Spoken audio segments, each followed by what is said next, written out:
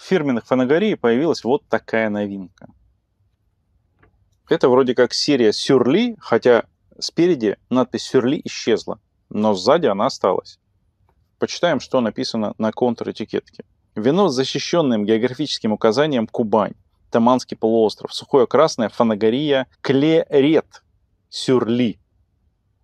То есть это сюрли. И как они читают вот эту надпись, клерет. Хорошо, хоть не кларнет. Хорошо. Год урожая 23-й. Алкоголь. Алкоголь. Алкоголь. 13 ровно. И дата розлива 06.06.24. А теперь я зачитаю информацию с сайта, потому что она, очень интересная. Итак, вино создано из винограда сортов Саперави, Каберне Фран, Пине Нуар и Каберне Савиньон. 23 года урожая с лучших фанагорийских виноградников региона Кубань-Таманский полуостров при строгом контроле урожайности. Что, кстати, важно. И вот самое интересное. Для формирования такого стиля в нашем новом красном вине использовались нестандартные инновационные энологические приемы.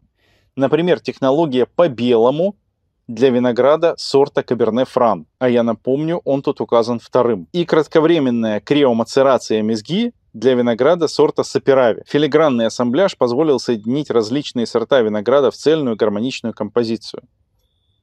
То есть, получается, Саперави, который тут написан первым, сделан по розовой технологии. Каберне Фран, который тут написан вторым, сделан по белой технологии.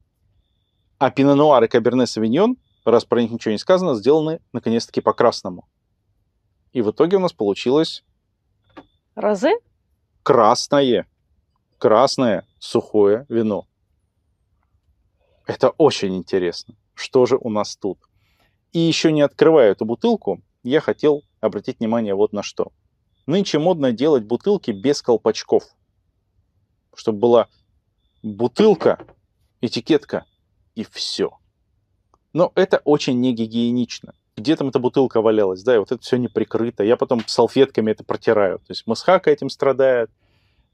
Хотел сказать Раевская, но это же Масхака. Короче, Масхака этим страдают. А вот Фанагория придумали классный выход. Просто прозрачная термоусадка. Изящество и красота минимализма остались на месте, но в то же время гигиена не пострадала. Ну-ка, если оно еще откроется хорошо, то будет вообще замечательно. Ну-ка. Все прекрасно. Да. Клерет. Кларнет. Кларнет? Ну, это же все равно не кларет. Ну да. Когда я написал Кларет. именно клерет, оказалось, что есть такой сорт винограда. Но он тут не присутствует. Любопытненько. Пробка не брендированная, но довольно длинная. Пахнет вином, так вот мощно вином. Пахнет эта пробка, окрашена она средняя. Вино довольно прозрачное, оно совсем прозрачное, и по цвету это что-то среднее между насыщенным розе и красным. Не знаю, будет ли видно, но оно прям светится, оно абсолютно прозрачное. Такое темное розе. Аромат? Клубника малина. Клубничный компот, в который насыпали еще и малины. А же тут где-то в глубине списка, насколько я помню, да? Да, предпоследний. А в начале Саперави. Может, это Каберне Фран по белому дает клубники? Он же родственник Каберне. Савиньона, который по белому дает клубники. Мгм. И они вместе с пинонуаром, да, вот это вот ух, Мгм. колыхнем. Так появляется одновременно и сливочность, и терпкость. Терпкость кожи. Да, животинка какая-то, видимо, кожа. Аж вино полетело. Ну что, бокал маленький взял. Да, но я решил взять такой бокал. Терпкость кожи, клубника и сливки. Появились специи. Очень занятный, интересный аромат. Какой-то крем-брюлешный, да, такой ирисочный момент появился. Есть такое. Мне все кажется, что тут есть коровник где-то вдали. Коровник присутствует. Но вдали. Давай пробовать. И во вкусе вот эта ирисочность вместе со сливочностью и клубникой играют очень слаженно, мощно и, конечно же, очень девчаче. Да. Если бы не высокая кислотность, было бы совсем девчаче. Но кислотность очень высокая. Этим вином надо поить тянок. Или, может быть, фей, не знаю. Альтушек. Нынче альтушки модно. Вот это мне абсолютно не нравится слово. Мне тоже. Но это модно. Ну, это... Я, наверное, уже старый, просто хрен его знает. Я Потому почитал, что это значит, это плохо. А что это значит? Я не помню, что это значит, но я помню, что мне это не понравилось. Помнишь, что они должны быть в толстовках? Тянки, телки. Тел... Не, телок не, телки не поймут. Телок на лыхны поить. А вот тянок можно. И феечек тоже. Альтушки обойдутся. Да, что это вообще за это самое?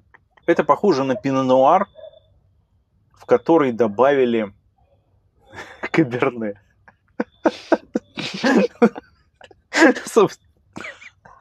Собственно, это оно и есть. А саперави где? Не знаю, вот как-то саперавия выраженного тут не чувствую. У меня вот полное ощущение пино-нуара с каберне.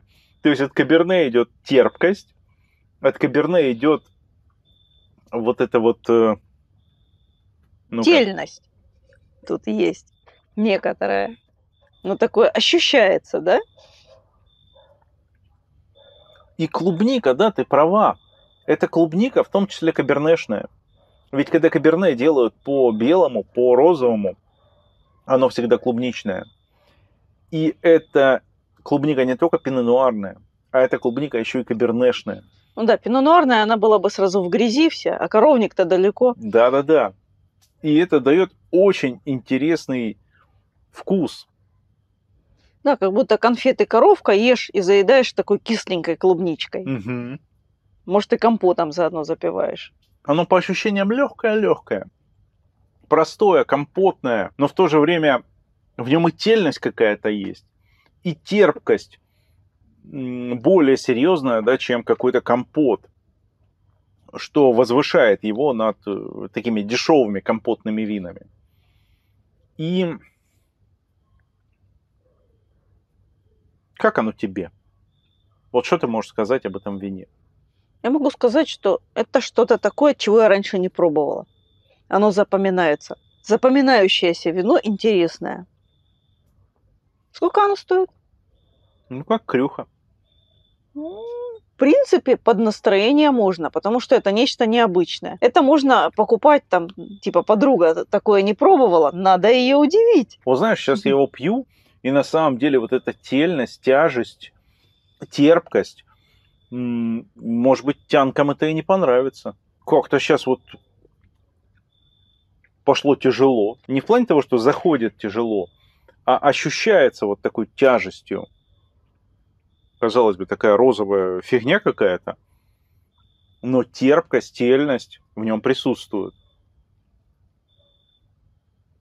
То есть реально что-то между розе и красным. Честно говоря, я думаю, что это понравится далеко не всем, потому что кому-то, кто хочет тельности и терпкости, не понравится вот эта вот легкость и компотность, вот эта няшность.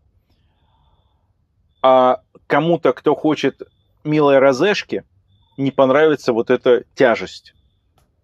Да, это как будто милая девочка с розовыми волосами выходит на сцену и начинает петь мужским голосом гроулингом. Именно мужским гроулингом. Да, таким мужским гроулингом. Почему не женским гроулингом? Ну ладно, же. Если она поет женским гроулингом, то недостаточно сурово, да? Да. Ну хотя нет, ну не настолько суровая. Ладно, пусть женским поет. А так говорить.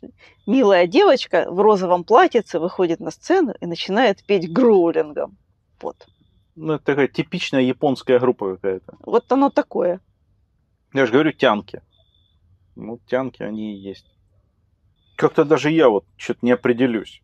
Мне а это мне нравится? нравится. Тебе нравится, да? Да, мне нравится. Тебе нравится. А мне как-то вот, у меня немножко распадается ощущение на вот эту тяжесть и вот эту няшность. Я не пойму, то ли тяжесть тут лишняя, то ли няшность тут лишняя. То ли я еще просто не въехал. Но в целом это вкусно, это интересно.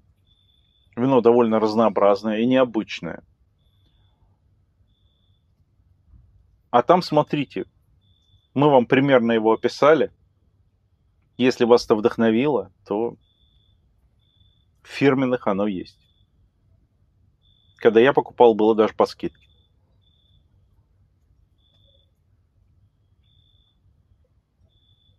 Как интересно, слушай.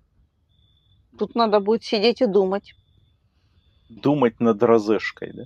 Это не розешка. Это розешка переросток. Розешка переросток. Оно гроулингом поет. Ну да. Страшным голосом. Как ребенок в детстве говорил на гроулинг, помнишь, Хока поет. Именно.